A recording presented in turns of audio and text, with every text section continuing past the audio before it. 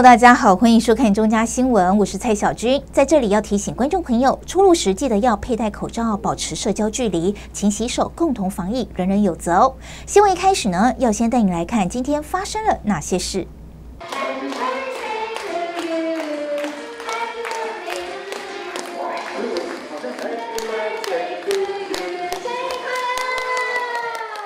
台北市人气吉祥物熊赞端着气球蛋糕现身，庆祝台北探索馆二十周年生日。台北市政府也策划“印台北迎战”，透过六部经典电影，带领民众穿越时空，感受台北城市魅力。首映会现场，熊赞与民众一同庆生，玩起台北有奖征答，气氛热络温馨。接下来还有连串活动启发。台北探索馆二零零二年到现在二十年的时间，其实他也陪着许多的呃市民朋友一起成长。所以，透过这一次印台北的一个放映电影的一个活动，当然是希望说，哎，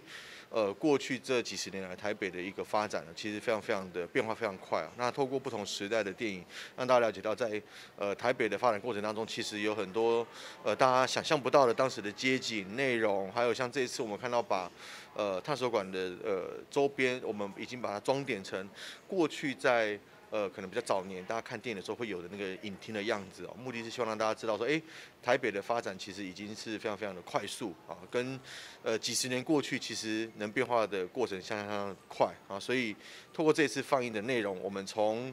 呃，我是一片云，恋恋风尘，然后饮食男女，再见台北等等大道城哈，从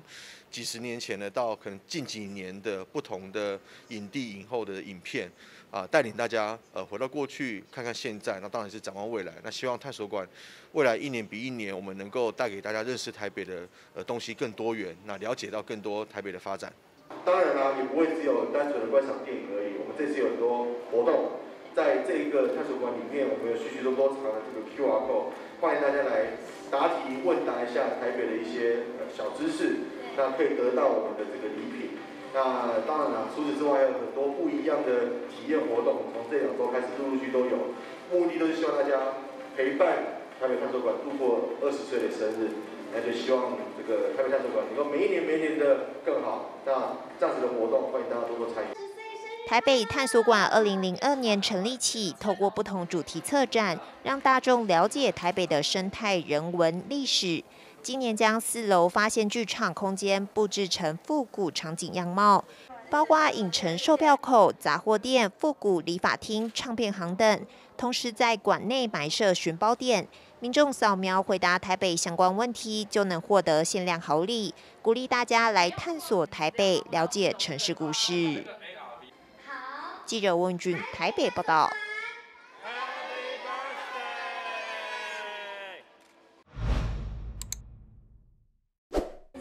周周抽万元，圣诞抽苹果手机，夜市优惠及聚餐美食地图。点数折扣等好康，都在台北市商业处举办的“美食在台北”数位回馈活动。民众即日起到十一月二十四号止，透过台北通 App 登记绑定一家支付业者，在十二月期间到合作餐饮业者消费，可享有每笔百分之十的餐饮回馈，还有许多额外加码。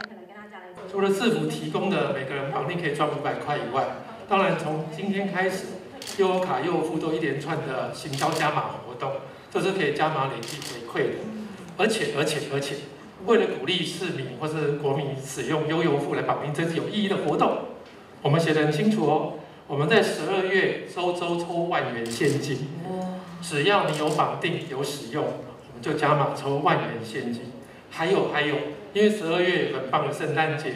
那公司也鼓励我们，希望说我们再加码，说我们在十二月份。又加码抽一支 iPhone 十四，好，这是我们公司抖内出来的好礼。最后，最后，只要新户，只要是没有用悠游付的新户，我们每个人再给一百块的悠游付的现金券。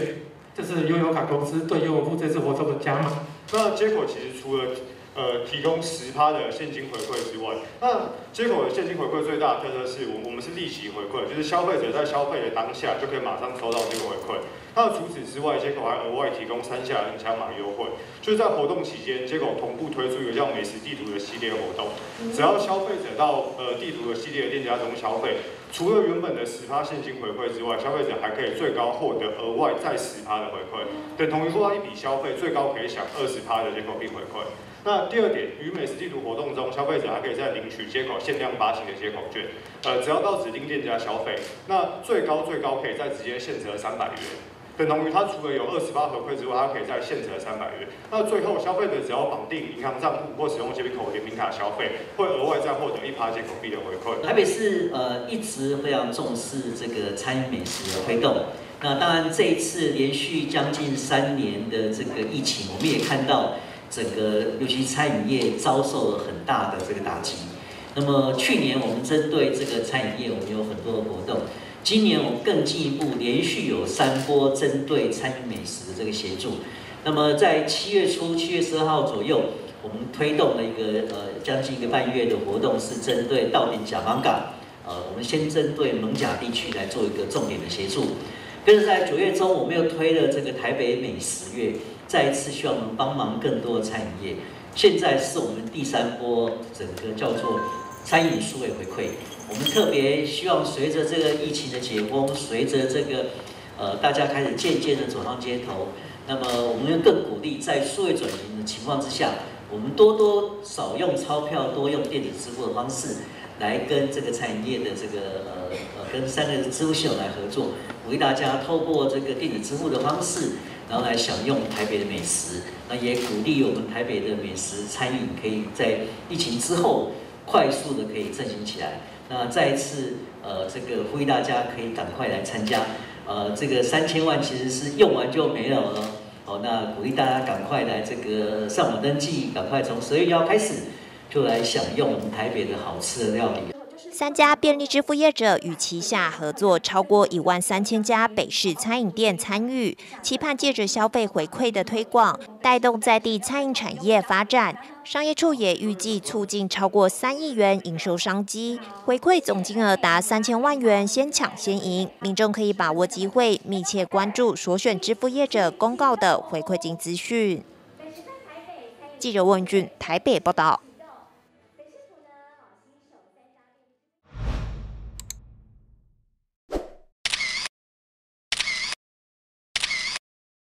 想要赏花的民众有福了！二零二二台湾花卉品种推介会在台北南港展览馆展出，有首次曝光品种的花卉，还有各式盆花、兰花与应用在生活中的花卉艺术，吸引许多爱花民众到场参观。就是那边那些花，就是我真的就是很长，有一些都没看过。就是我最知道那些花，就是比较普遍的那一种。然后我今天就看到很多。颜色，然后我就觉得很开心。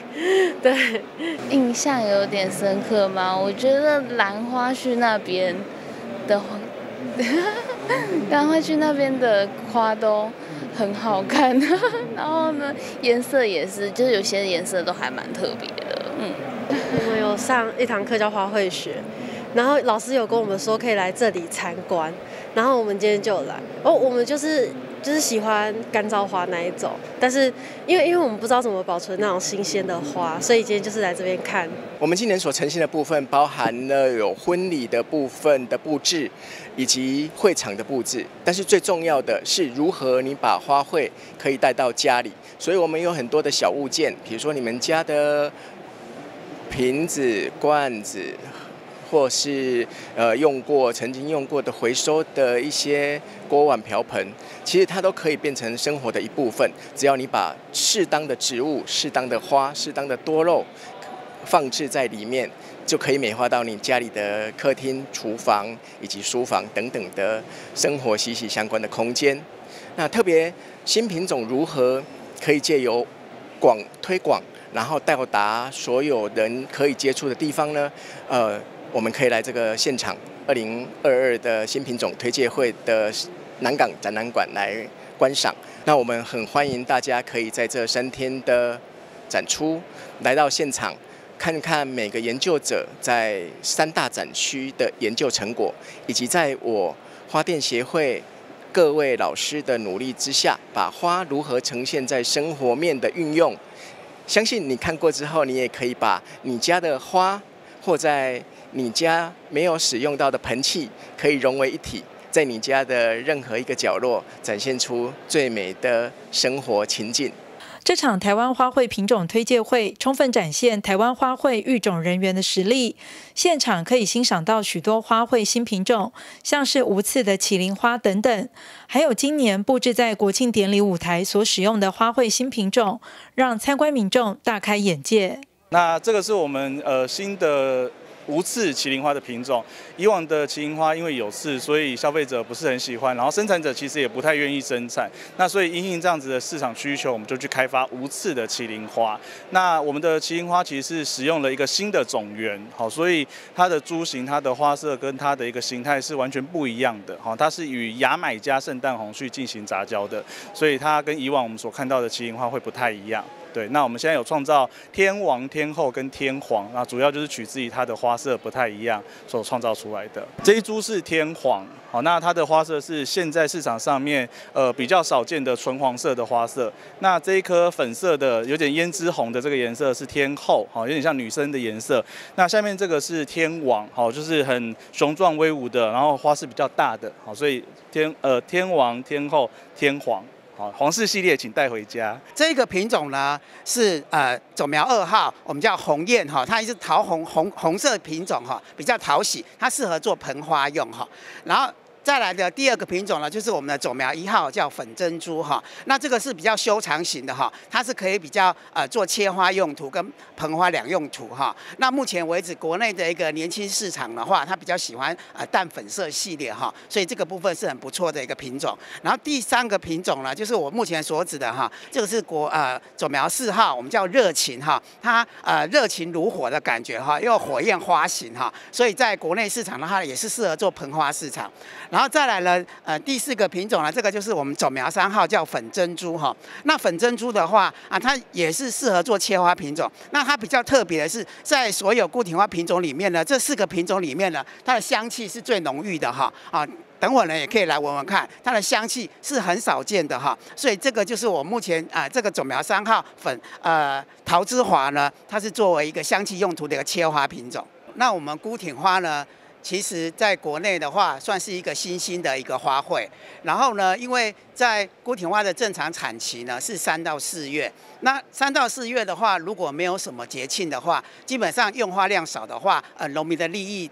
种植的利益就会减少。那所以呢，我们像现阶段是十一月份的展展览哈，那我们利用种球的一个调节技术呢，我们可以在我们预定的呃节庆的时间呢，让它盛开。然后呢。呃，在节庆需要用大量的花的时候，让农民可以种出孤挺花，然后也能够开出来，让呃消费市场能够购买。那这样子可以创造我们孤挺花更大的价值啊！所以目前呢，孤挺花的一个呃产期调节技术呢，呃，我们都有开发出来了哈。那未来呢，我也是希望呃，在不同的节庆呢，都有看到孤挺花的的踪影啊，让农民产生更大的一个商业利益。除此之外，我们还顺道提起。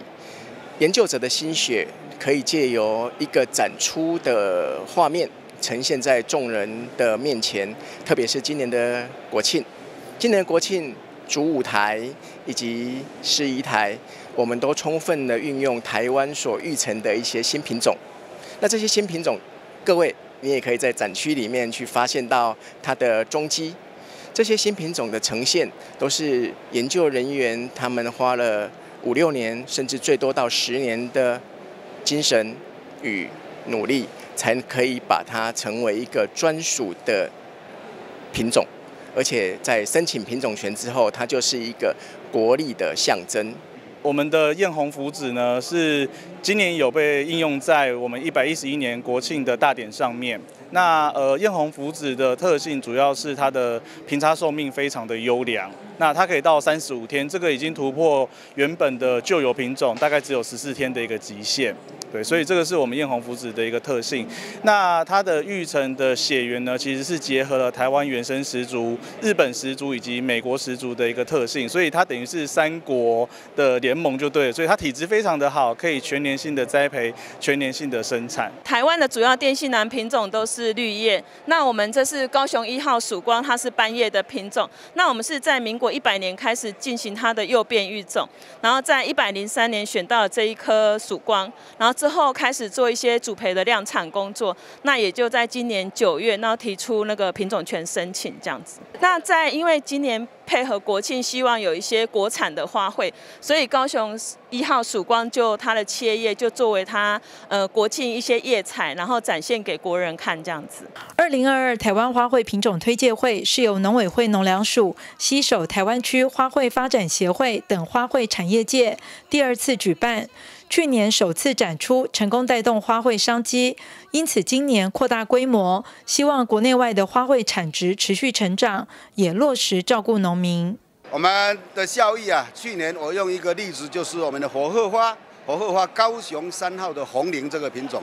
我们去年在这边，光是一个品种，在今年的一月到十月，我们已经行销了一百多万株。那一百多万株的产值一千一百多万，比去年增加了六百，呃五百多万。所以，我们今年今天呢，有大概有一千五百多种的这些新的品种。所以，我们每一种如果有以这个增加一百万来计算的话，各位很简单，我们就马上可以算出来。所以，今年我们很希望啊，能够来突破两亿、三亿。那我们也很希望我们的观众啊，能够突破。五万到十万，我们之所以要办这个活动，最主要的目的就是希望我们今年所研发出来的新的品种，以及最近这几年国内的特色品种，还有国外进口的这些品种，都能够在这个地方让育种者，还有让贸易者以及消费者都能够一次在这个地方看到、发现到、买到所有。台湾或者是可以说全世界最新的品种，那我们今年已经是第二届，那去年我们办的成果相当的好，去年大概有一千多种新的品种，今年有一千五百多种，所以比去年增加了五千五百多种的新的品种。那同时我们也希望借这个机会，把国内新的品种能够推广到全世界。那最重要的，我们这些新的品种，我们会把它在全世界。主要的国家包括欧盟、包括美国、日本、澳洲、中国等等这些国家，我们会去做注册跟保护这些品种，来让我们国人的智慧结晶在全世界获得肯定，同时受到保护。那我们非常希望我们的消费者能够在今天开始，一直到礼拜六，能够到南港展览馆第一馆第一区来观赏目前全世界最优质、最新的品种。台湾花卉品种推介会规划了品种展示区、生活应用等五大专区，展出超过一千五百种的国内育成及国外引进花卉。即日起展出到十一月十二号星期六，欢迎爱花及想要赏花的民众踊跃到现场参观，享受这场花卉飨宴。记者陈淑平台北报道。Home Plus 中加宽屏在地影像赔率与证件计划开始喽！即日起到十二月十五号为止，丰富奖励等你来拿。详情请加中嘉新闻 FB 粉丝团或扫描真件简章 QR code。散播假消息好可怕，让我来带您看一起假消息的社会案件。话说，基隆有一名妇人在聊天群组分享自来接中药行夫妻确诊死亡，还附上消毒照片，在 LINE 群组不断被转传，越闹越大。连中南部亲友也知道，搞得左邻右舍都很紧张，大家避之为恐怖级。后来结果怎么样？雷中药行夫妻根本没死啊，也没确诊啊。当地里长找到这名散播消息的妇人，他解释并不是有意的，只是转传，没想。到事态会这么严重，他亲自前往下跪登门道歉。中药行老板最后决定原谅他，不追究，这是真实案例。要告诉您，疫情期间假消息可能就在您身边，一定要聪明辨别。记得一，眼见不一定为真；二，分享前再想一下；三，养成讯息查证的习惯。记得一，眼见不一定为真；二，分享前再想一下；三，养成讯息查证的习惯，因为很重要，所以讲两遍。要记得，欧中家集团关心您。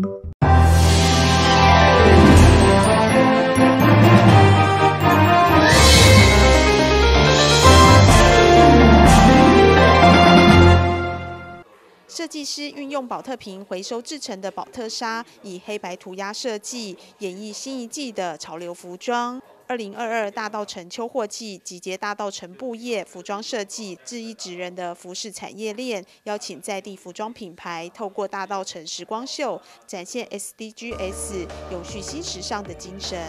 那这一次我们大道城创意街区发展协会的是秋货季是我们第五届。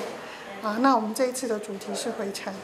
那我们是希望说，稻城是一个呃物质跟消费比较啊流动的一个地区哈。但是现在我们世界在讲永续环保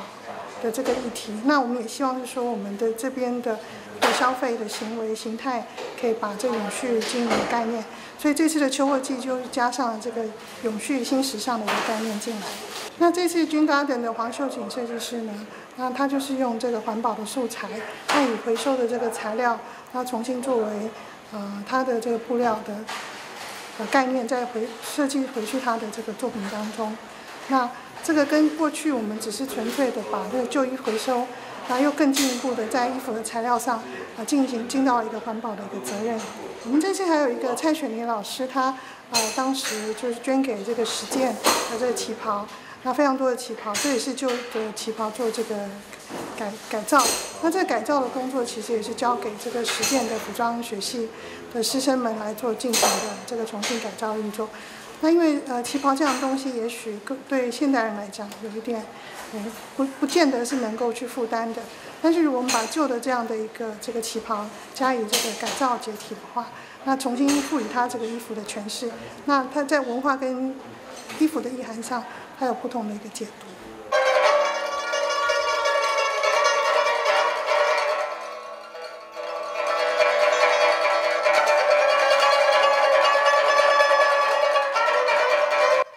活动当天还接连演出岛屿歌谣，包括台湾爱情歌谣《旗袍夜上海》，并用音乐致敬义贼廖天丁与说唱艺术国宝杨秀清老师，以歌声音乐串联服装秀，演绎大道城的在地文化。我们刚刚提到的军港点的黄秀锦老师，那他是用啊环保的这个衣料去做衣服的这个设计，然后他跟他搭配就会有一个台湾爱情歌谣的陈老师，那他的这个琵琶，嗯，跟着这个。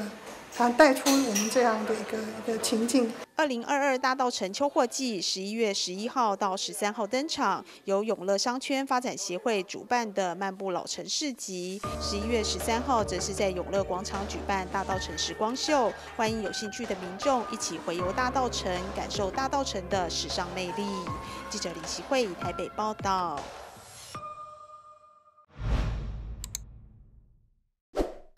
已获得首届北台湾精品咖啡评鉴，三峡竹轮子庄园自产咖啡豆冲煮出来的香醇咖啡，底层使用金枣酱，最后再附上金萱茶奶盖，就完成小清新咖啡节限定特调咖啡。今年首度举办的小清新咖啡节，以“当咖啡遇上在地食材”为题，广邀咖啡职人，结合新北在地农特产，创造出专属限定的美食饮品。这次小星星咖啡节的名称，小的话就是以小农为主题，那轻的话是年轻化、青农，新的话就是我们做了一些创新。主要的特色点是我们这一次的摊位结合，我们除了有邀请到斜杠职人市集跟新北市希望市集去展售一些新北市的农产品之外，我们的咖啡店家、茶叶店家跟餐饮店家都有。应应一些新北市的气作茶叶去做结合，去做茶咖啡，或者是茶点点，或是各式的合作的产品。那我们这一次市集的主题饮品有一个是金金相应，使用的是金枣以及金萱，那另外里面使用的素材有这次北台湾精品咖啡评鉴得到精选典藏豆的新北市三峡竹人子庄园使用的咖啡豆，跟我们新北市农业联谊会的会长所种植的金枣去做这样的一个特调。制作的过程主要是希望说让各个大众其实在舞台上看到这样的展演的时候，回到家中也可以轻松做出一杯特调。所以我们使用的堆叠的层次、制作方法都相对简化，那可以保留最好的风味的同时，又可以轻松在家品尝一杯咖啡特调。除了由咖啡职人运用在地食材制作专属限定的咖啡饮品，咖啡节另一大亮点还有加发杯咖啡冲煮竞赛。那我们在市集内，为了让整个市集的气氛更加的活络、更加的活泼，我们有举办加发杯的咖啡冲煮赛。那我们有学生组跟社会组。那我们这次比赛指定使用的咖啡豆是由达文西咖啡提供，使用的是他们其中一支在意大利 ICT 国际大奖获得金奖的冰纳里欧配方豆。那新北市希望市集其实一直以来在碧潭都有举行一系列的市集活动。那这次早上我们台湾咖啡发展协会去做承办，举办了小星星咖啡节，就是希望在带领青农去发展更多的多元的发发展管道。那也希望说结合台湾在地的咖啡、在地的茶叶，可以让整个市集有更多不同的面貌，去让大众可以有更多的了解。小清新咖啡节将于十一月十二、十三号在新北市碧潭东岸广场登场，欢迎民众在周末假期来走走逛逛，品味香醇咖啡与友善市集共创的美好生活。记者林习慧台北报道。展场入口处的艺术作品《台湾林像》，现场吊挂的凳子依照树种生长高度排列，表达台湾的森林相貌与生态。由台北科技大学木艺中心主办的“森如生活”国产才好设计展，以台湾在地林场产出的国产木材作为媒材，设计产出生活居家用品，传递负碳家具的概念。那我想最重要的是要让我们的国人。能够看到台湾的国产材的美好，特别是这一次在林务局的支持下面，还有呃这个特别是文化局的这个场域，我们要展出的其实就是台湾多样的生活的样态。透过国产的好木材，透过好设计，我们希望能够让国人开始去体会到台湾的富碳家具。那台湾的富碳家具为什么要谈这件事情那么重要？因为我们现在在谈二零五零年的。这个碳中和、近零碳排，那我们这边所使用的这些国产木材都是人造林的国产木材，所以呢，材料本身它就是一个固碳的材料，所以当我们在使用它的时候，是把呃这个大大气里面的这些二氧化碳，透过材料的部分把它吸附二氧化碳，形成木材，然后为我们所用。我们再透过设计，把这些好的材料。放到我们的居家生活里面，就好像我们每天都坐拥一片森林的概念了哈。那特别是我们的这个入口意象，我们用的就是所谓的台湾林象。那我们用十七张台湾十七种不同的材料所建构出来的这个意象，然后依照材料的这个海拔跟高度来做吊挂，呈现台湾的生活样态跟森林的样态。那凳子就是台湾生活里面非常非常。典型的家具的样态，哦，一个头啊就是较早咱咧生活内底所有咧用的物件，透过这个物件，伫这个展场内底，要安怎去它展现出来，我大概当去了解台湾过去的生活方式是安怎。那从过去再走回到现在，我们可以看得到，我们在展场里面有艺术家具，有设计家具，能够让所有的好朋友能够开始去体验台湾的森林的生活的美好。那我想我们在展场里面用了两种。最主要的材料，一个是阔叶树的桃花心木，另外一个是针叶树的台湾杉。台湾杉呢是东亚第一高的的树种，好，然后呢，它也是全世界唯一用台湾命名的树种。那台湾杉呢，我们又叫做这个卢凯族的原住民，我们朋友都会会叫它叫做撞到月亮的树。你看，光是这个名称是多浪漫。那它的材料呢，我们又叫做七彩台湾杉。就好像台湾的多元的样态，这么样的 colorful，但是呢又是非常非常的缤纷的色彩，来展现台湾的这个多元的样态，而且又这么样的多元跟缤纷的文化色彩。所以这个材料本身它就是一个非常象征台湾的材种。那我们在现场就用这样的材料来创作不同的这个各种不同的居家用品的这些家具。那另外一个是我们用桃花心木。那桃花心木呢是这个台湾的阔叶树，是目前在平地造林里面这个蓄积量最多的材料。那我们用桃花心木来制作不一样的这个家具，譬如说我们在那个新北桌，我们为这个台北台北市文化基金会。打造的这个新北桌，就是用桃花心木，因为古代来讲，它就文化意义叫做桃花剑是做辟邪用的，哦，所以它基本上从文化的语义、从材种、从特色都非常的台湾的文化的意涵表现在其中，所以我们也用桃花心木在我们的展场里面，把它应用在各种不同的像桌椅柜啊这些所有的生生活用品里面，让台湾的台湾山跟台湾的桃花心木能够伴随我们的居家生活。展场分为艺术家具和设计家具两大展区，总共约六十件作品，兼具艺术性、实用性与生活性，以永续设计、互联共创为主轴，巧妙融合新芳村茶行的建筑空间与国产木材家具的优雅氛围。林务局从二零一七年开始哦，推动国产材元年这样的政策，目的就是希望说，让台湾的人工林的资源哦，能够。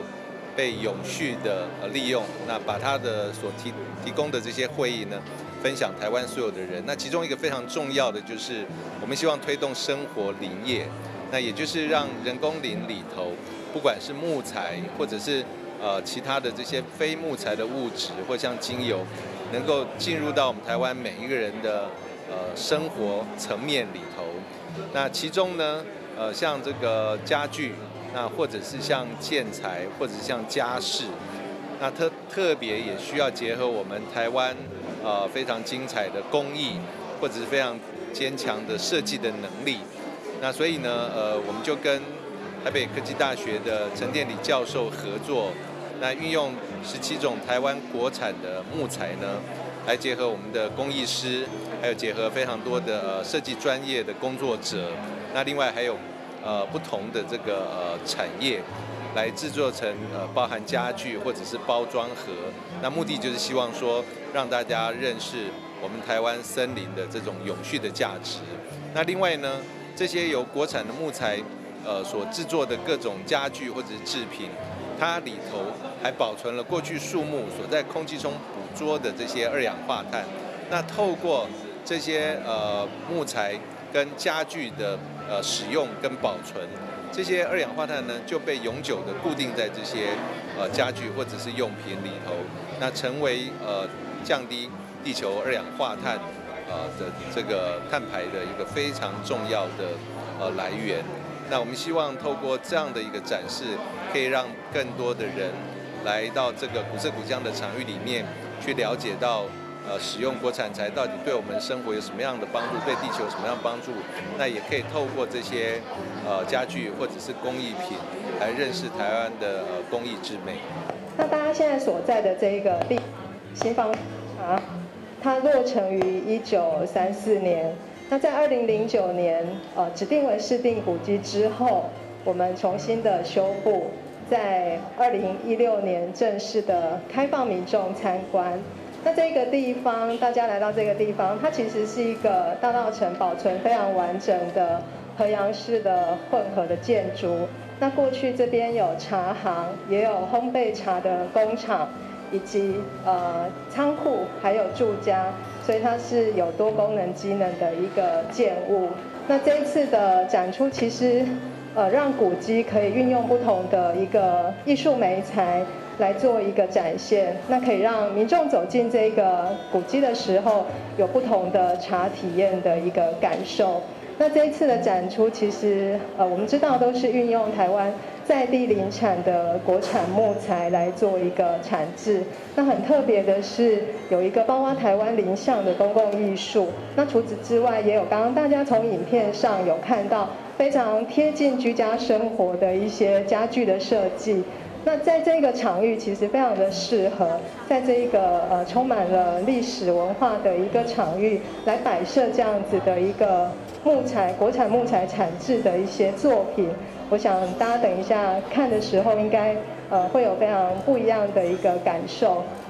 那这一次的展览，呃，很开心，除了有不同的一个艺术美材跟古迹的连接之外，其实我想很重要的是刚才呃主持人有提到的，不管是文字的保存，或者是我们的一个自然生态，其实永续跟环保一直是我们在追求跟强调的理念。那也希望呃大家在看这些作品的同时，也可以把这样子的理念呃更为传达出去。深入生活国产才好设计展即日起展出到十二月三十一号。新芳村茶行配合本次展览，将规划一系列茶席与品茶活动，欢迎民众至新芳村茶行脸书专业查询。记者李希慧台北报道。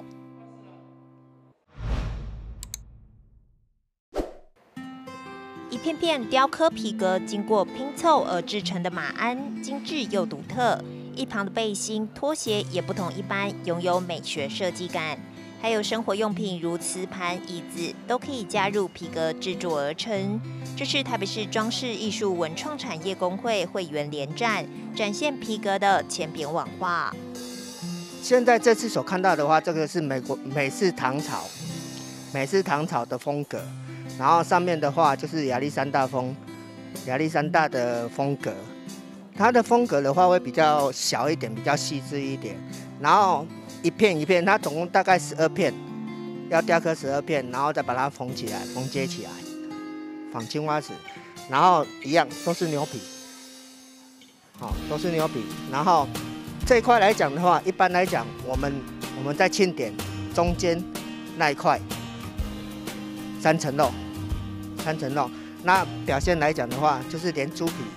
都要有。皮革来讲的话，它不光只是我们所看到的包包、长夹，其实皮革它所有的东西都能做，只要你想得到，它都它都能做。一般生活用品来讲的话，像椅子、桌子，你可以把它包起来，因为皮革它是有生命力的，你可以越用越漂亮，就跟那养茶壶一样，它会越用的越亮。我们这个皮雕艺术联展主要是台北市。装饰艺术文创产业工会，我们的狮子群的皮雕艺术联展。那当初为什么要设设计这个皮雕联展？因为我希望把我们好的皮雕艺术呈现给各位观众。因为尤其是我们的皮雕，它是可塑性的东西，但是呢，很多人都不知道什么叫皮雕，只知道什么叫皮革。那我们为什么这次会展这个联展？因为我们有山水雕。有唐朝，有皮塑，有水生雕，哦，那总共今天参展的作品大概将近八八十个。那最主要我要我要告知一下，是我们的皮雕展跟人家不一样的地方，是我们结合了这么多的技法在里面。像我的水生雕很生活化，它有色彩的，哈，它是有色彩的，就这么简单。所以我的作品当中都会比较小，为什么？因为它是属于比较生活化。那很多老师的都是有加框的比较大的艺术作品。那我们这个展，我希望说已经有人反映说可以每一年来展一次。那我也希望说有同好喜欢或是爱好皮雕的艺术者，可以跟我们一起来共共学共好。除了生活风格制品，写实的山水画也能透过皮革做成。其精细度与染色之精准度尤为困难。陈宏斌和刘子玲却以皮质山水画为乐，写实呈现眼见风景。现在做的这些东西都是属于比较写生类的、写实类的，所以都是比较强调有层次、有有深浅、有层次，部分是挑起的有层次，还是色彩的，还是。都是要强调有层有层次。那今天会介绍这个，就是因为大部分看到的皮雕都是做的比较图案式的，比较呆板。那而且在皮雕界里面做山水的很不多，做山水的人不多。那山水它要在皮雕上展现的话，它。又是另外一个境界。嗯，较懒的就是流水跟引产，这个这个都必须在工具用工具去用它的角度来展现，所以这个就变成会要运用到个人的思考空间，用自己的逻辑思想去怎么样去把它展现出来，这是它比较难的。树皮的纹路是呃，因为是斑驳的嘛，是不规则的，啊，所以使用的工具会比较多，呃，比较多种。然后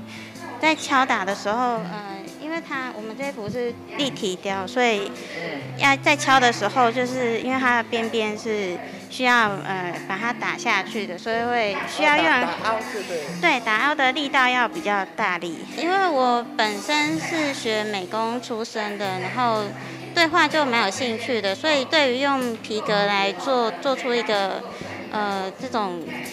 呃作品是蛮蛮感兴趣的，就是皮革蛮多样化的，对，所以就会想要尝试在上面，就是做做不同的呃图出来，就是山水啊，还是唐朝什么的。雄壮威武的狮头、虎头是皮雕创作者林矮珍的作品。立体的图像更能展现动物的特性与神韵。原来皮革创作不仅于生活用品，更是艺术的美材。我这一幅作品呢，呃，是百兽之王老虎虎啊，因为呃，我是把它做成立体的，啊，让它可以呈现跟平面的呃展现不一样，就是它是就是立体化的，但它就是一种意境，不是说写实派的，啊，只是一个意境。啊，所以用皮革去塑形，好，把它的这个气势好展现出来。那利用这个牛皮还有猪皮，皮革都是一张平整的一个比较硬的材质，但你要把它弄成柔软，然后弄成可塑，就是你要它呃柔弱的地方柔弱，刚硬的地方刚刚硬，是比较难的地方，就是比较难呈现，就是要用特殊的。方式特殊的技法去呈现它。作品皆是近年的创作，在士林公民会馆展出到十一月二十五号，期盼借由展览推广皮雕文艺，同时也有开设免费的 DIY 活动，欢迎有兴趣的民众来逛展体验。记者温君台北报道。眼见一定为真吗？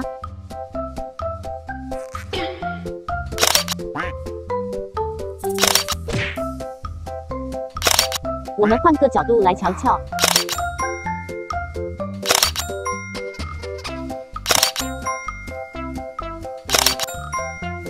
所以记住，眼见不一定为真。科技进步，人人都可以是记者、是编辑，有字有图有标题，越耸动让人印象深刻。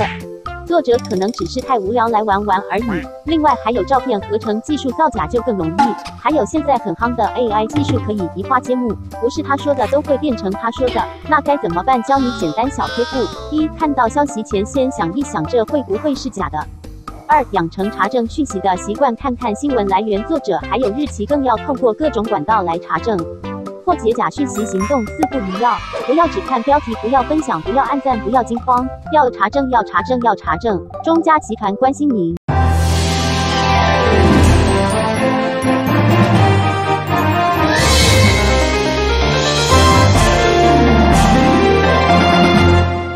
呃，严选的炒虾。一只只大炒虾，先经过热油穿烫，再用蒜头酥下去拌炒，加入葱花，锁住鲜甜。整盘的避风塘炒虾标榜即用海味。呃，因为我们虾子是本土的，台湾的，所以没有什么药水，或进口的那个直接食安的问题，所以本身的鲜度够的话，甜味就很够，所以至于盐味的话都是很好。还有本港小卷，加入姜丝、葱蒜下去清蒸，咸咸甜甜好滋味。国产的石斑鱼清蒸十分钟之后，加入破布子特调酱汁，搭配炖到油油亮亮的东坡肉，光看色泽就令人垂涎三尺。借用山海大餐，坚持原味，满满一桌子十三道菜，当然饕客不能错过。因为小卷特色，它是也是这样很鲜甜鲜甜的，所以那本土的话，那个海域的话都是很。水质都很清晰的，所以像清蒸的话，吃的话都是很好的。你怎么料理这个小卷？一般的话，新鲜的鱼货的话，清蒸是最好吃的。对，不用这边过多的加加味啊，是什么调味料的话，所以是最忠原味是最好的。因为台湾的石斑呢是世界有名的，对我们养殖啊，不管是养殖还是那个水质口感的话，都是世界数一数二的。所以我们本土的石斑是最好吃的，而且是基隆的话，因为新鲜的话也是以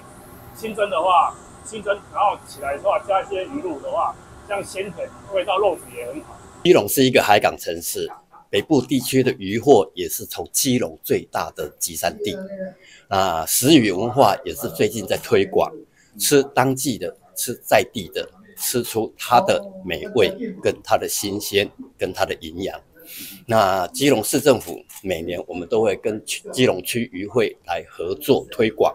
啊，让大家吃得好。那今年我们特别以长荣桂冠的彭园来办理这个食鱼文化的这个桌餐。那这个原价八千元啊，我们上网去订抢购，我们现在只要六千五，会有十一道山珍海味。外加水果跟甜点，那而且来参加的我们还有抽奖，而且每桌还会有一张一千元的我们的渔获的兑换券，所以可以说五加购五加啊，很欢迎大家来，因为基隆除了有好吃之外，还有很多好看的，所以可以惜家带眷，亲朋好友一起来基隆来。参加我们的词语大餐，这次啊，农委会也推行啊，那农邮件啊，我们哦，金融区因为那个贩卖部在五天之内就马上哦销售一空，很把石斑鱼啦、一些摩阿鱼啦、白带鱼啦，各种鱼都销售一空。啊，搭上这个热潮，我们今年金融区会为了推广推销我们基隆在地的鱼产品，让民众尝试到基隆。本港最新的海鲜料理，和市政府、基隆区会和基隆市政府合办海鲜大餐。基隆区会和市政府合作推出了基隆山海大餐，暌违四年正式回归。记者会上宣布，十一月十一号上午开卖，限量一百桌，每桌六千五百元，还加赠基隆区会贩售部千元抵用券，相当划算。有彭源五星级的厨师来做烹调跟料理。那今年我们除了呃我们在地鲜甜的渔产之外，那渔会这边也配合政府的政策，那我们将这个国产的死斑鱼入菜。所以说呃我们所有的市民朋友可以把握机会，在十二月八号的时候，那到彭源会馆好来享用我们这个鲜美的渔产的美食。那另外，今年我们这个还是有限量，要报名，在十一月十一号来基隆区渔会的 Facebook 网页会公布报名的方式。那请民众手脚要快，双十一的时候到基隆区渔会的网站上网去来做报名。然后我们是有限量的。岁末年终聚餐，爱吃海鲜的饕客千万不能错过。记者黄少明基隆报道。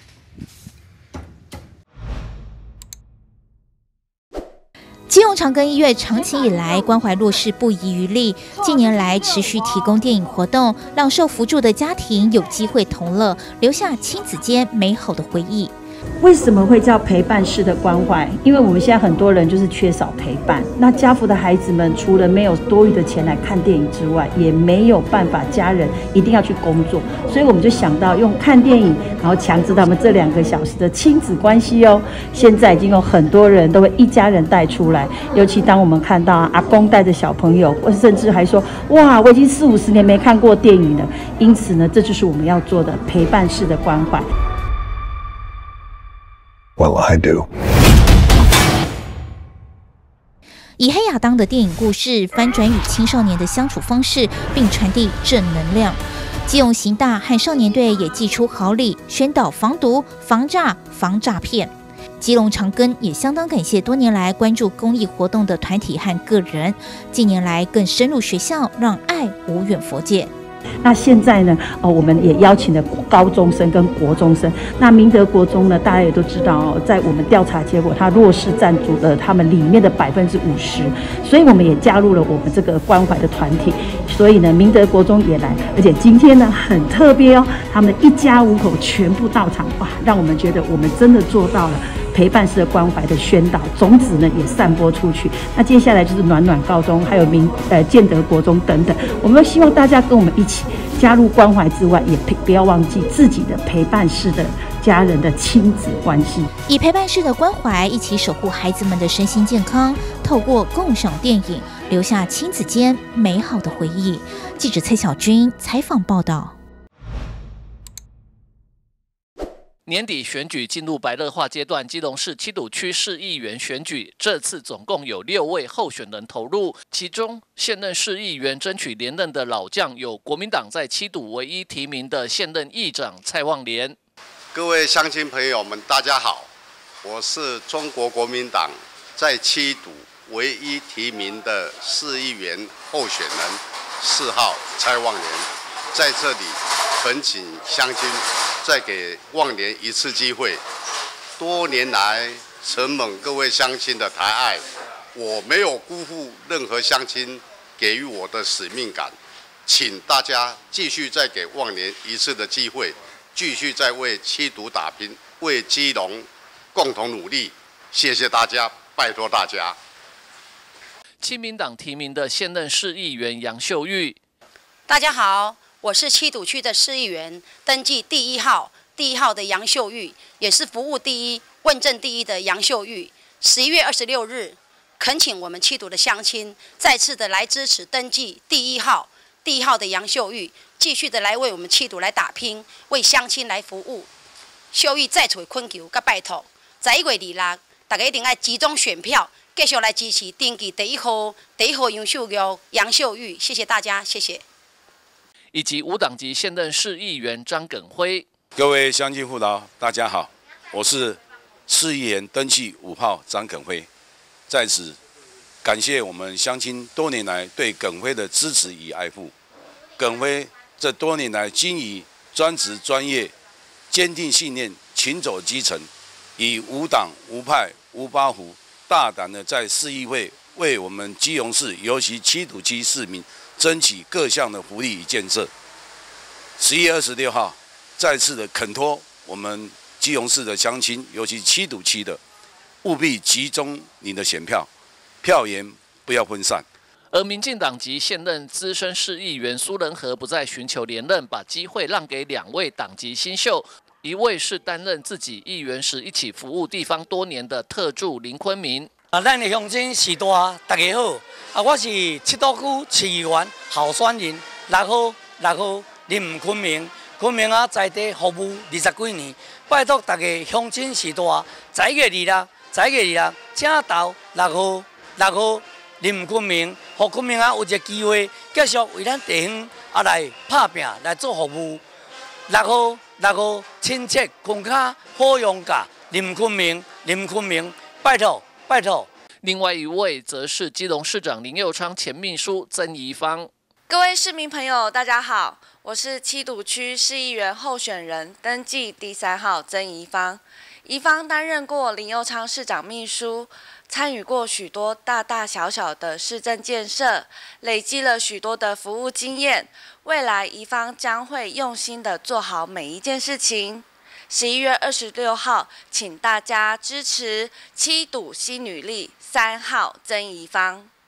此外，时代力量也推出年轻律师陈凯宏进竹，争取为七堵相亲服务的机会。基隆市民在交通事故上所遇到的困难，以及基隆市民在工作上所遇到雇主积欠薪资的问题，在这两个环节之内，我都发现基隆市政府只要透过前期的交通规划，甚至于是透过所谓的劳动检查，我们就可以有效的去防止交通事故的发生，甚至于是防止劳工讨不到薪资的状况。但是呢，基隆市政府却是一直的持续的不作为。在我诉讼的过程之中，我发现。只有进入体制，才能够真正的、真正的改变这些呃不公不义的事情。我是二号陈凯宏，我会参选七堵区的市议员，请大家给我们一个机会，让我能够为基隆市民服务。谢谢大家。蔡旺莲、杨秀玉以及张耿辉三名现任老将，地方经营服务已久，民意基础雄厚。不过，面临另外两党三名新秀林坤明、曾怡芳以及陈凯红的竞争，无不战战兢兢，不敢掉以轻心。而民进党提名林坤明和曾怡芳，希望将饼做大，争取最大的民意票源。老将新秀同志间互相拼搏，选情相当激烈。不过，最后谁能出现当选，还要由七堵人来做决定。记者吴俊松基隆报道。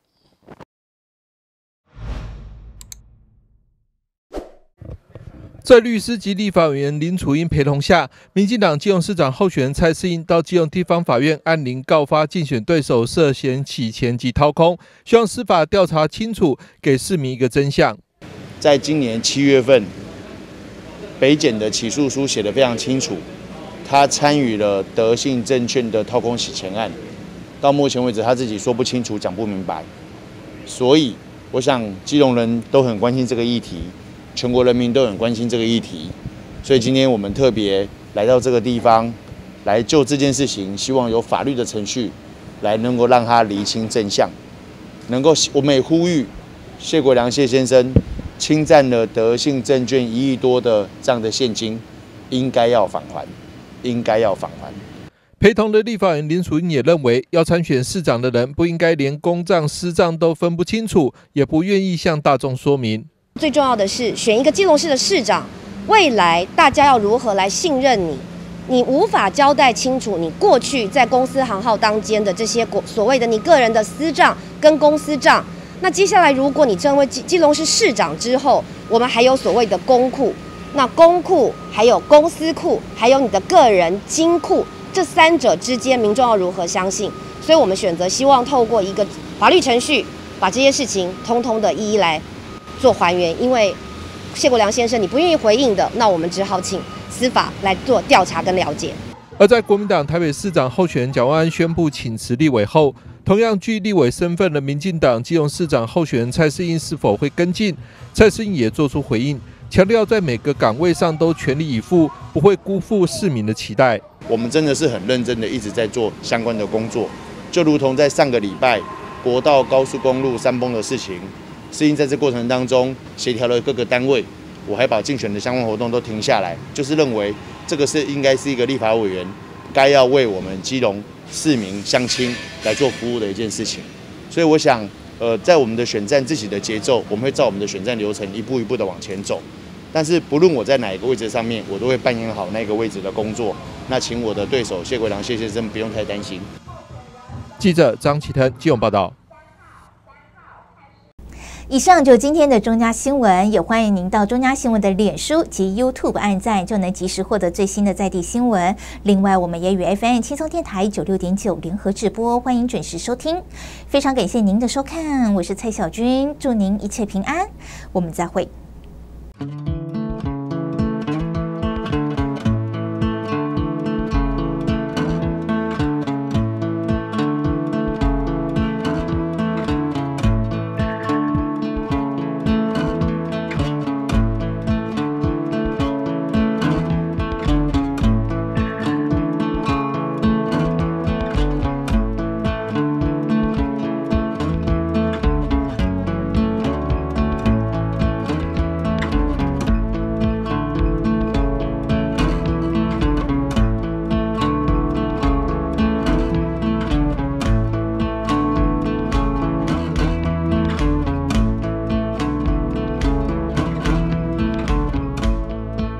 播假消息好可怕，让我来带您看一起假消息的社会案件。话说，基隆有一名妇人在聊天群组分享自来接中药行夫妻确诊死亡，还附上消毒照片，在 LINE 群组不断被转传，越闹越大。连中南部亲友也知道，搞得左邻右舍都很紧张，大家避之唯恐不。及后来结果怎么样？雷中药行夫妻根本没死啊，也没确诊啊。当地里长找到这名散播消息的妇人，他解释并不是有意的，只是转传，没想到。事态会这么严重，他亲自前往下跪登门道歉。中药行老板最后决定原谅他，不追究，这是真实案例。要告诉您，疫情期间假消息可能就在您身边，一定要聪明辨别。记得一，眼见不一定为真；二，分享前再想一下；三，养成讯息查证的习惯。记得一，眼见不一定为真；二，分享前再想一下；三，养成讯息查证的习惯，因为很重要，所以讲两遍。要记得，欧中嘉集团关心您。